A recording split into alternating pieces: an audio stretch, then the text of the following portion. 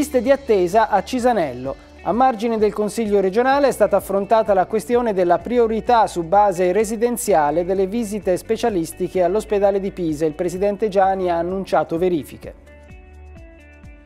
Certaldo 22, le mostre al via, presentata a Palazzo del Pegaso l'esposizione che racconta tre artisti toscani tra passato, presente e futuro. Buonasera e ben ritrovati a Monitor Consiglio. Parliamo di salute in apertura perché a margine dell'ultima seduta del Consiglio regionale è stata affrontata la questione della priorità data ai residenti a Pisa per quanto riguarda alcune visite specialistiche all'ospedale di eh, Cisanello. Sulla questione si è espresso anche il Presidente Gianni che ha annunciato eh, verifiche sullo stato delle cose. Sentiamo l'intervista.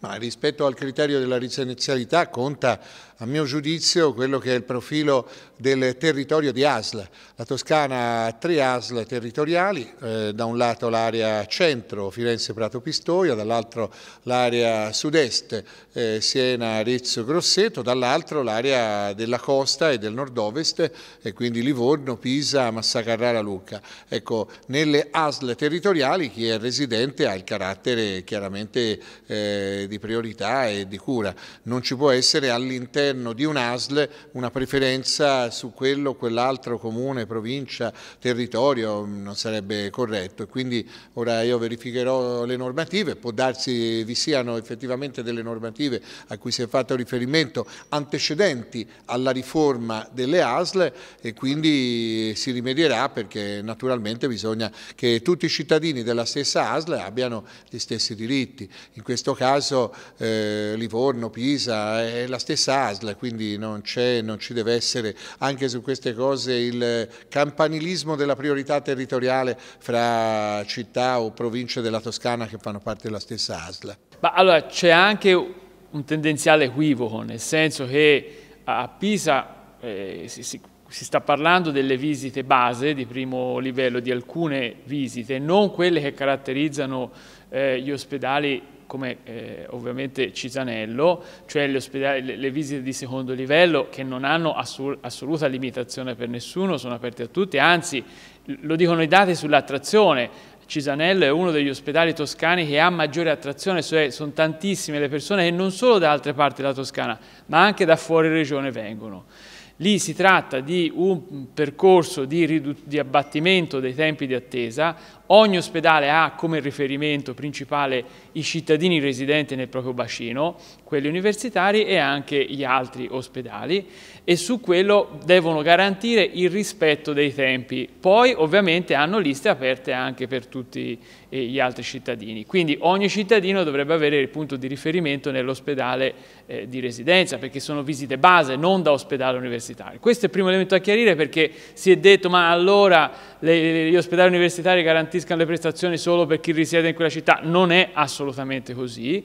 Ovviamente la situazione è così da almeno il 2017, il 2016 il 2017, quindi non c'è nessun tipo di novità se non per il fatto che con il Covid sono saltate molte liste d'attesa e quindi eh, trovandosi la gente eh, liste chiuse da tante parti, cosa che non dovrebbe essere, ovviamente è venuto fuori anche questo che è un elemento semplicemente per garantire il rispetto dei tempi di attesa che si calcolano con i cittadini di riferimento dell'ospedale. Però non c'è nessun ospedale chiuso e noi speriamo, chiediamo alla Giunta, abbiamo già chiesto il piano di abbattimento delle liste d'attesa nelle prossime settimane possa produrre i propri effetti e superare anche queste storture. Ma in questi anni eh, l'azienda eh, ospedaliera pisana si è comunque eh, parametrata come un'azienda di eccellenza, cioè l'ospedale di Pisa non era l'ospedale del territorio di Pisa, ma un ospedale di eccellenza che avesse come minimo un respiro regionale, così come per alcune altre cose valeva per Careggi e per altre per le scotte di Siena. È evidente che questo tipo di decisione va nella direzione invece di ridurre comunque la prospettiva dell'azienda ospedaliera pisana che per noi deve continuare continuare ad essere una, una eh, prospettiva di grande respiro e quindi Pisa, Cisanello, il nuovo Santa Chiara essere comunque un centro di eccellenza e per essere tale evidentemente non può curare o prendersi cura e carico soltanto dei pazienti residenti nel comune di Pisa.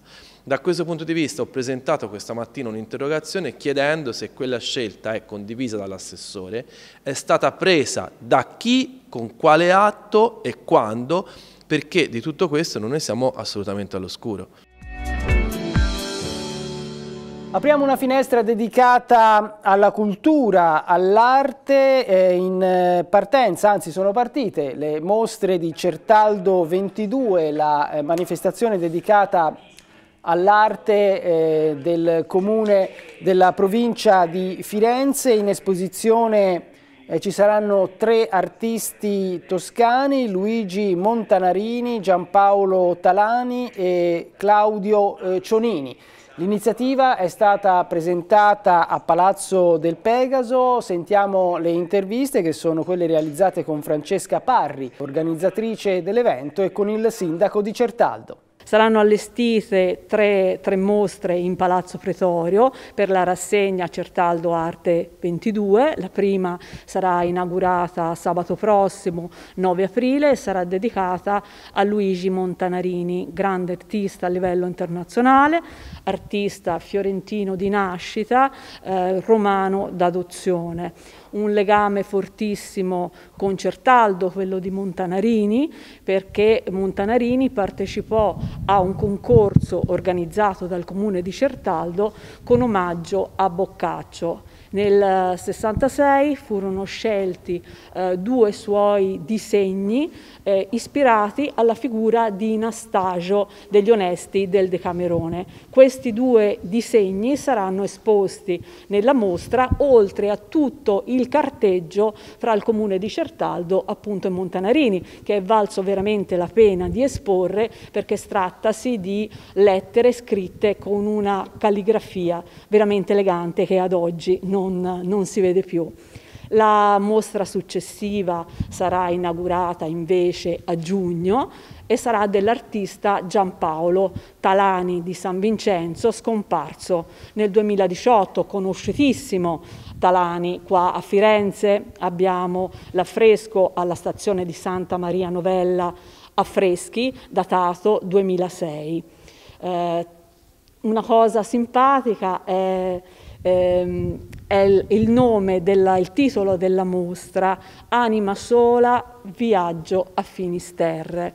Il titolo è stato scelto dal figlio Martino durante un sopralluogo a Certaldo Alto di qualche mese fa perché il Palazzo Pretorio gli ha evocato, ricordato un dipinto del padre che è il Castello di Sabbia di Finisterre. Una cosa importante è che l'ultima mostra eh, che ha fatto Talani risale al 2019 ed è una mostra importante fatta ai magazzini del Sale di Siena e l'unica mostra che, si, che sarà, eh, sarà allestita di Talani nel 2022 è esclusivamente la mostra di Certaldo caldo.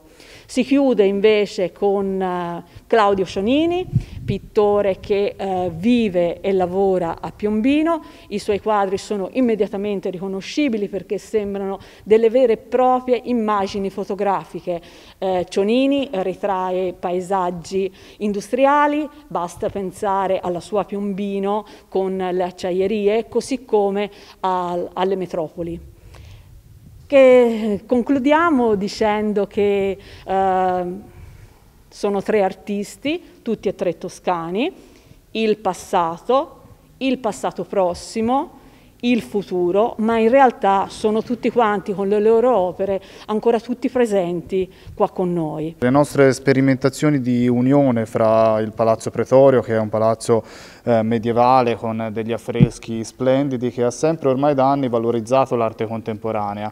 Eh, noi abbiamo promosso ormai da un po' di tempo questi percorsi artistici con queste mostre temporanee, Palazzo Pretorio ha delle sale bellissime anche con eh, esposizioni permanenti, con museo permanente, ma ha tutto il primo piano a disposizione per queste mostre temporanee ed è sempre stata la sua forza, quella di essere un polo espositivo di arte contemporanea a livello toscano, che ospita continuamente mostre di carattere importante e eh, il nostro tentativo è sempre stato quello di eh, allargare l'orizzonte, valorizzare gli artisti locali da una parte e allo stesso tempo portare eh, artisti di appunto, livello nazionale e internazionale. Palazzo Pretorio è eh, a disposizione dell'arte ed è a disposizione della qualità artistica. Il percorso di quest'anno realizzato con l'apporto di Exponent, con la curatrice Francesca Parri, è sicuramente un onore e un orgoglio. Si rivolge innanzitutto all'arte toscana, alla nostra regione e cerca anche di eh, portare quella che è la produzione artistica dei, dei toscani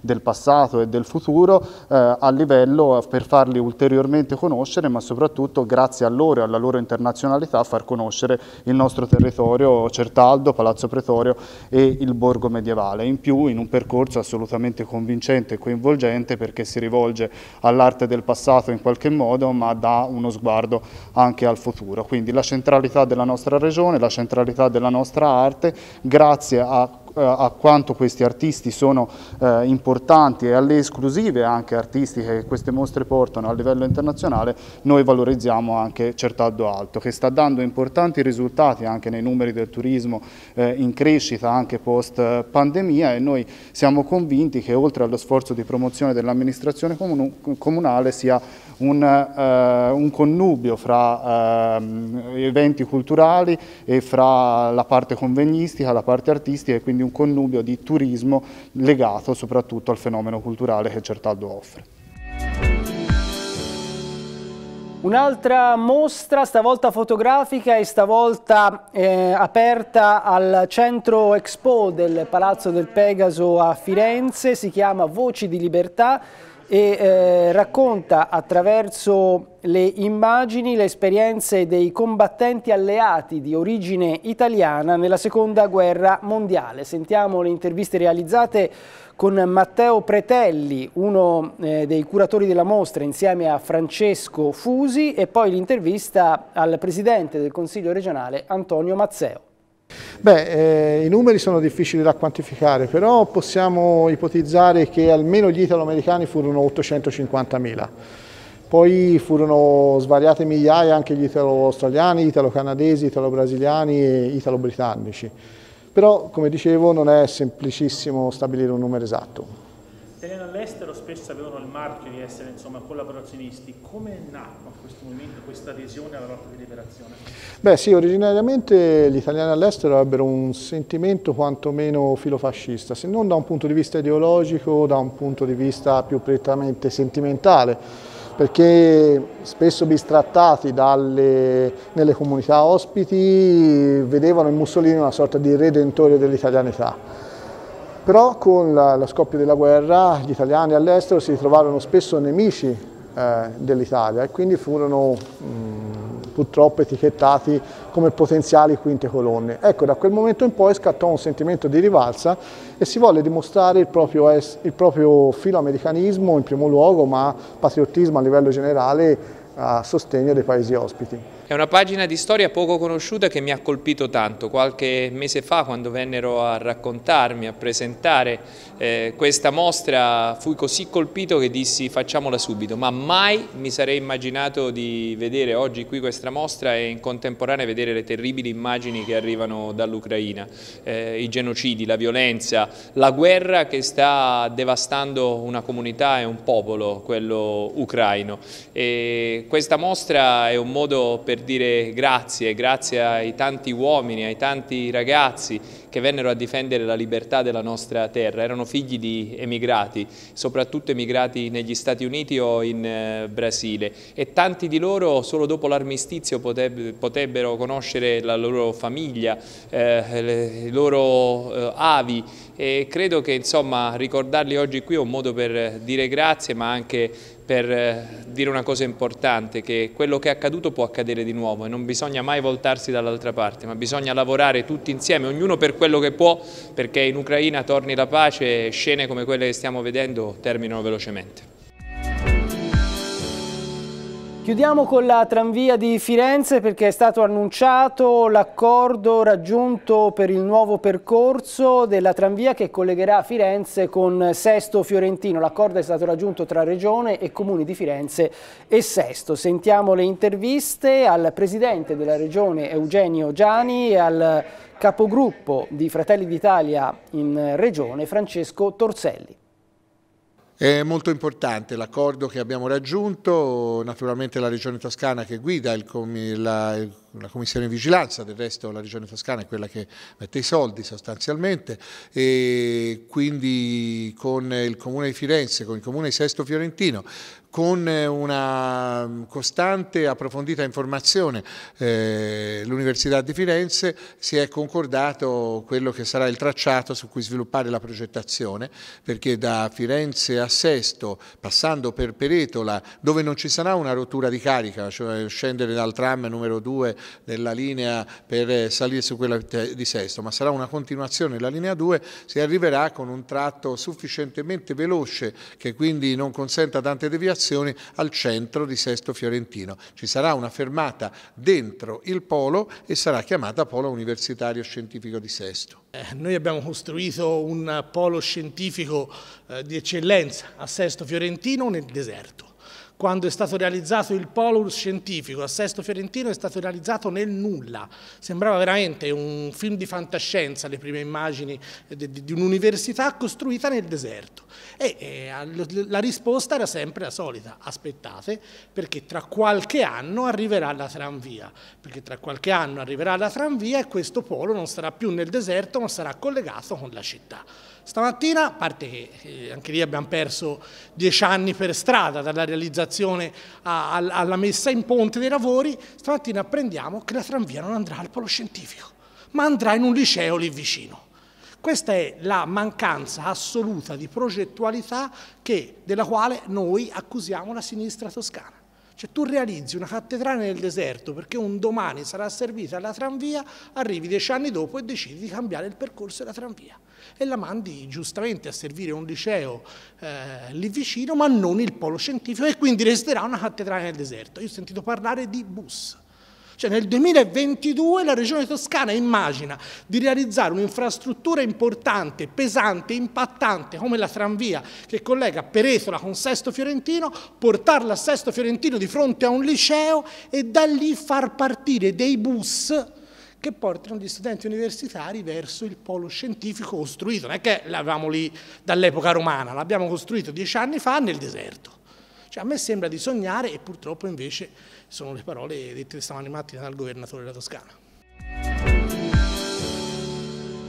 È tutto per questo appuntamento con Monitor Consiglio, vi ringrazio per l'attenzione e vi auguro una buona serata.